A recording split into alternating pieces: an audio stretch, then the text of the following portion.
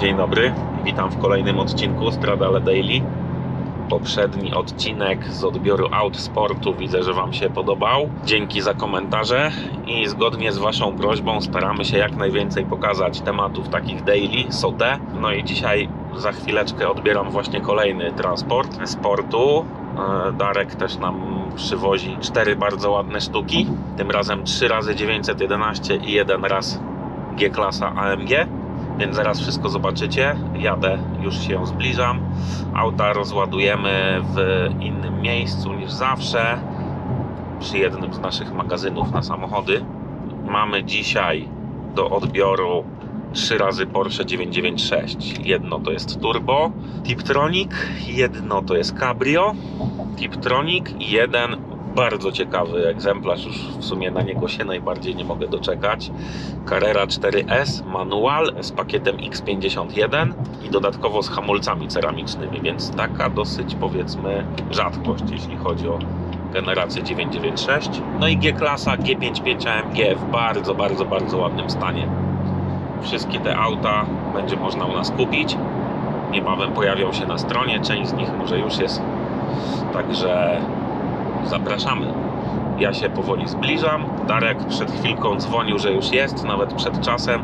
Powoli się już rozstawia i rozładowuje, a ja zaraz dołączam. I działamy.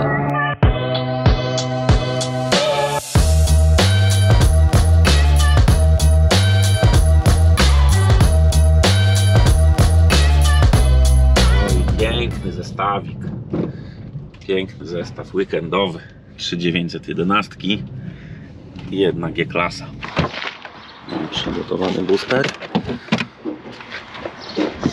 Siemka, pomieściło się wszystko. Tak, elegancko.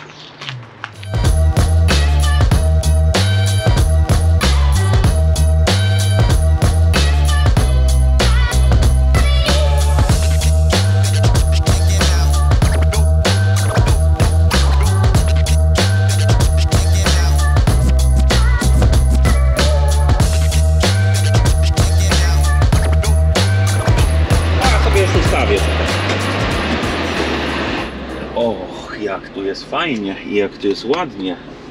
Mm, pięknie. Podoba mi się. 97 tysięcy kilometrów przebiegu. Ach, i to twardo chodzące sprzęgło. Coś pięknego. Czasowo ją tutaj ustawimy bo czeka w kolejce, aż odbierzemy 4S z poprzedniego odcinka, z poprzedniego odbioru autu sobie możecie zobaczyć. E, Carrera 4S, która już była sprzedana w momencie jak do nas dojechała, trafiła do naszego partnera, do naszych przyjaciół 911 Garaż w Łomiankach. Tak jak mówiłem, na pełne sprawdzenie, przygotowanie i za kilka dni ją odbieramy. Zawieziemy tego na podmiankę też na przygotowanie, ależ on mi się podoba. Wszystkie dokumenty, kluczyki, pierdoły.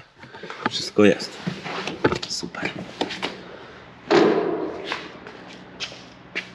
Jakaś fajna naklejka. Naprawdę ładnie. O, mam jakąś kartę. Kto rozszyfruje, co to jest? Dane wrażliwe RODO. Na szczęście w Japonii nie ma RODO. No to coś zostało ciekawe, czy to poprzedni właściciel?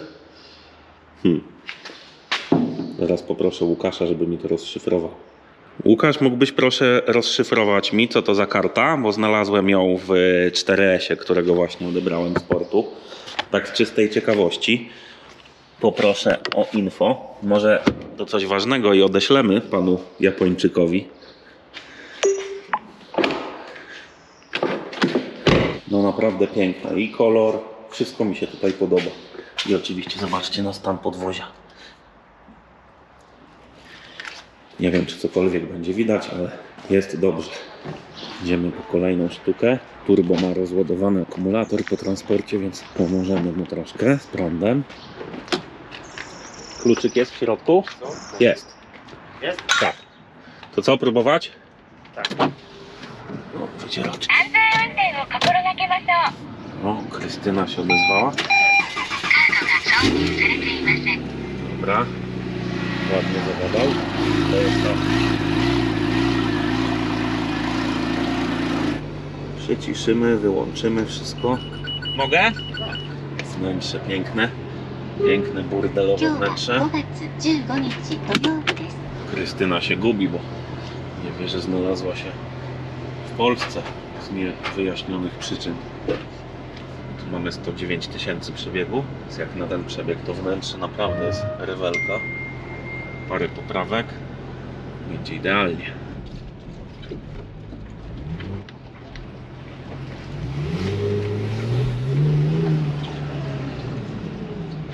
Ach, i to jest najlepszy widok, jaki sobie można wymarzyć.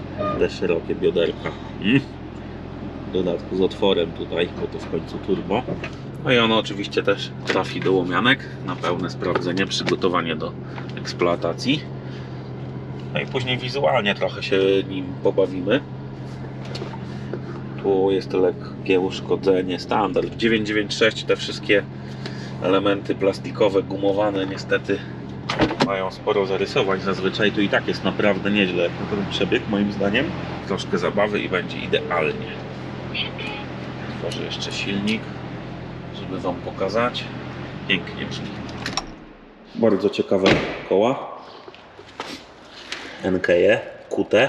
Nawet pasują do niego. No i fajnie, że prawie nowe opony i to takie jak powinny być 4S-y. Jest ok. Miałem wątpliwości co do tych kół, ale chyba je zostawimy. Nawet nieźle się prezentuje. Dajcie znać w komentarzach, co sądzicie o takim konfigu. Ja jeszcze zajrzę do bagażnika, co tu słychać.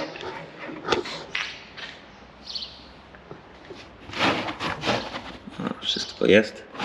Fajnie. Co tutaj słychać?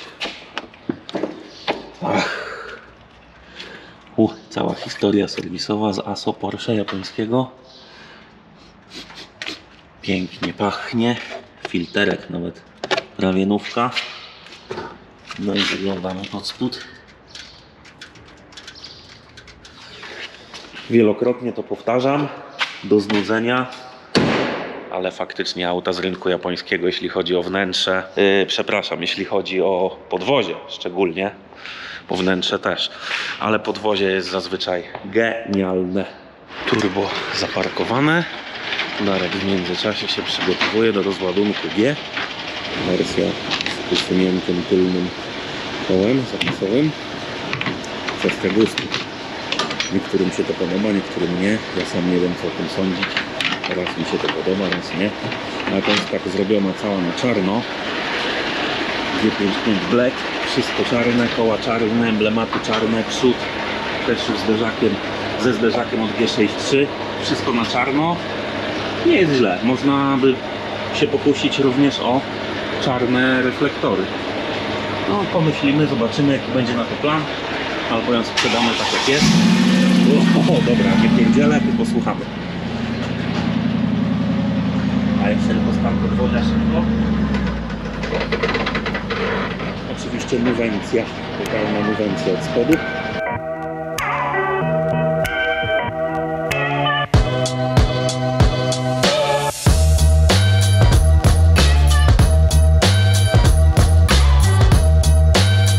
Pewnie byście chcieli się dowiedzieć czegoś o tym aucie. 49 555, jeśli chodzi o przebieg. Zobaczcie na stan wnętrza. Po prostu zero śladów. Nawet na fotelu kierowcy, gdzie w G-klasie często ten element jest mocno zużyty z uwagi na to, że to jest wysokie auto. Jak się wysiada szczególnie, to się zsuwa. I nawet y, nie taka osoba jak ja, tylko nawet lekki Japończyk też y, może szybko ten fotel zużyć, jeśli tego auta używa do jazdy po mieście, czyli często wsiada i wysiada, a przebiegu nie robi wiele. Tu akurat jest to w świetnym stanie moim zdaniem. Od sufitka bardzo fajna, nie wisi. Kurczę, jakie to jest piękne, matowe, nigdy nie używane w zasadzie chyba. O, pojemnik na kubki, fajna rzecz. W G bardzo fajna. A usunięte są też listwy, żeby było wszystko czarne. Sobota sobotą, ale trzeba zobaczyć rozładunek, nie? tak myślałem, że tu przyjedziesz. Bardzo ciekawy pomysł na zabudowę do G. Podwójna podłoga. W sumie praktyczna rzecz. Ech, i to trzaskanie. wszystko jest nowe po prostu w tym samochodzie, aż nie do wiary. O, chyba jakaś karta, czy tam instrukcja od lusterek. Jak wymienić lusterka po japońsku, bo lusterka też są od, właśnie 2013 roku modelu. O, jest pokazane gdzie jest sam w drzwiach, czyli ten moduł. Wow! Aha, tu jest też jakiś dodatkowy. No proszę, proszę, wszystko. Aha, że one są też rozkładane elektrycznie. No nie, no nie mogę. Coś pięknego. Dobra, schowam jak było.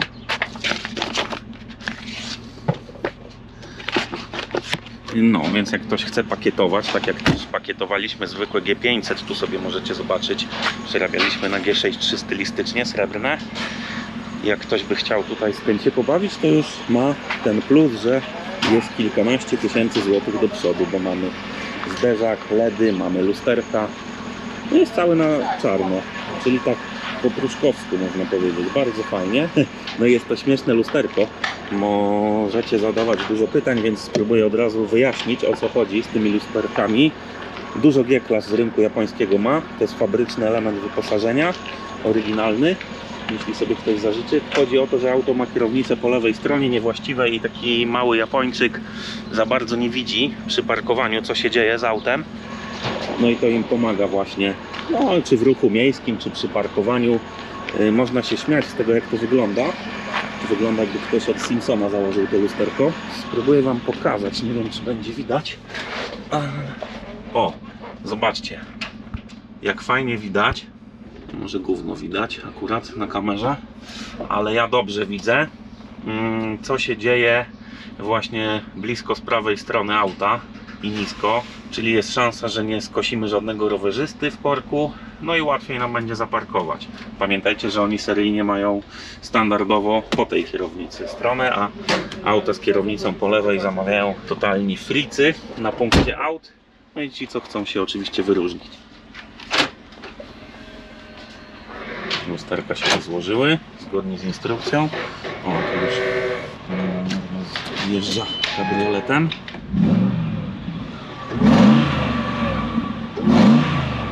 Pięknie, zobaczcie jak tam to auto się przechyla. Nie wiem czy to widać na kamerze, bo stabilizacja chyba tu za dobrze działa. To jest pięknie, jak stara, porządna ciężarówka Scania V8. Często do niej to porównujemy wszystko. Oczywiście wszystkie książki i tak dalej. Krystyna japońska. Coś tutaj za nie mówiła. Oczywiście japońskie radio z nawigacją. Standard praktycznie zawsze, ale ładna podsufitka. Naprawdę ładna. Tylko pytanie, jak to teraz jest pełen y, pakiet black, powiedzmy, czy nie zrobić sufitu w czarnej alkantarze. Jakbyśmy to zostawiali dla siebie, to na pewno bym to zrobił. A na razie poczekamy chyba i zobaczymy, co zadecyduje potencjalny nowy właściciel. Oczywiście możemy to wykonać, jeśli sobie tego zażyczy. A myślę, że fajnie by to wyglądało. I od razu mnie też kusi jakiś Starlight. Gwiazdki w niebie, jak w Rolls Royce. Takie coś też możemy zrobić. Niedługo zobaczycie jedno auto od nas z czymś takim. Na to trzeba naklejkę zrobić Carrera 4 szczur. No, prawdziwa. Nie dosyć, że Carrera 4 to jeszcze cabrio i w Tiptroniku, nie? Tragedia, nie? Ale są ludzie, co to chcą i uwielbiają. 996 Carrera 4 Tiptronic Cabriolet. Śmiejemy się, że dla nas purystów Porsche to jest taki model mało pożądany, można powiedzieć, ale też bardzo ciekawy. My lubimy coupé, nie lubimy kabrioletów, lubimy tylny napęd i skrzynie manualne. Każdy ma swój gust. Tu jeszcze Łukasz poprosiłem go, żeby dokładnie zakleił, bo tu jest lekkie takie pofałdowanie, jakkolwiek to nazwać, żeby to wszystko było szczelne podczas transportu i sobie tutaj wszystko ładnie ogarniemy, bo ogólnie dach jest w bardzo ładnym stanie.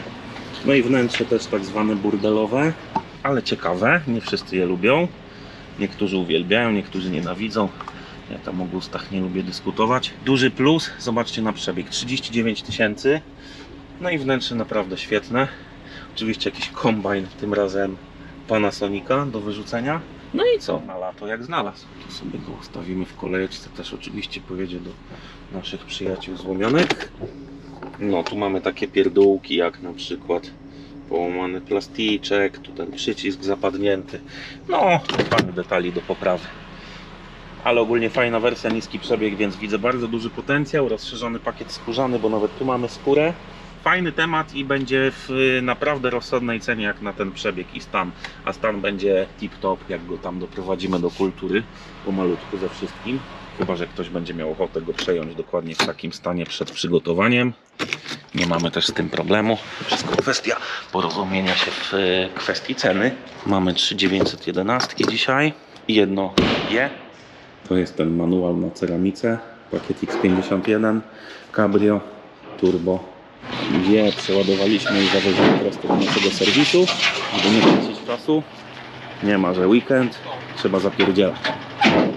Ok, szybki rozładunek za nami. Mam nadzieję, że Wam się to wszystko podobało. Oczywiście też możemy się z Wami podzielić dalszymi losami tych egzemplarzy, więc postaramy się też nagrać jakieś tam kolejne daily vlogi, jeśli macie na to ochotę. A patrząc po komentarzach widzę, że macie, więc y, postaramy się, chociaż też y, trochę nam to wszystko czasu zajmuje. Nie zawsze mam ze sobą kamerę, muszę się bardziej postarać, żeby o niej pamiętać. No, widzimy się w następnych odcinkach. A ja zapierniczam, bo jest dzisiaj weekend i muszę wracać do rodzinki, żeby chociaż chwilę z nimi spędzić. Napiszcie pod spodem w komentarzu, który samochód z dzisiejszej dostawy najbardziej Wam się podobał i dlaczego, którego chcielibyście widzieć w swoim garażu. No i oczywiście nie zapomnijcie zostawić łapki w górę, suba, dzwoneczka i tak dalej. To wszystko nas nakręca jeszcze bardziej do tworzenia kolejnych odcinków i pokazywania Wam coraz więcej rzeczy takich, które chcecie oglądać, czyli tego, co się u nas naprawdę dzieje w tle, tak zwanego backstage'u. No i widzimy się w kolejnych odcinkach. Dzięki za dziś. Wszystkiego dobrego, pa.